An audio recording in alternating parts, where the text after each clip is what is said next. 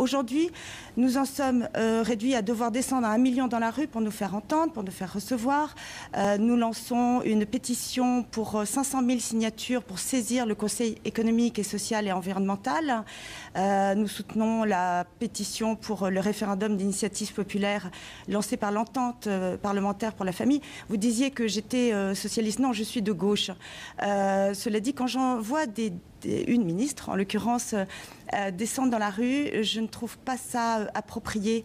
Nous avions énormément d'élus euh, dans nos rangs. Il n'y avait aucune récupération politique. Nous ne sommes financés par aucun parti. Cette liberté euh, a un coût. Ce qui vous pose problème, c'est la présence d'une ministre, pas forcément d'une personnalité politique en soi. Ce qui me pose problème, voilà, mais c'est que c'est une manifestation clairement euh, de lobbies LGBT qui ont le droit de faire entendre leurs paroles, aussi de personnes homosexuelles, hétérosexuelles. Parce que Des, personnalités politiques, il y en avait beaucoup dans la manifestation anti au titre, il y a deux semaines. Au titre d'élus de, ou alors de simples citoyens. Et ça allait de Madame Georgina du foie à Madame Simone Veil. Voilà. Moi qui suis féministe. position de ministre qui vous dérange. Voilà. Et puis aussi, ce qui me gêne aussi, c'est que c'est une manifestation clairement du Parti socialiste.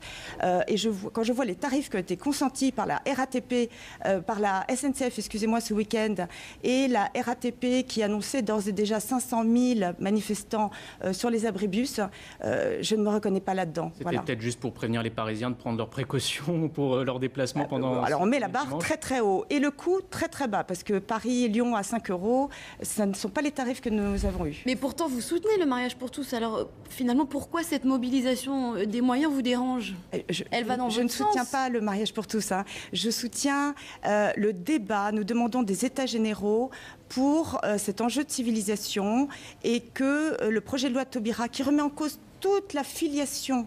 C'est-à-dire que euh, on sait très bien aujourd'hui que euh, l'adoption euh, n'est pas un vrai sujet parce qu'il y a très peu d'enfants adoptés il s'agit de PMA et de GPA.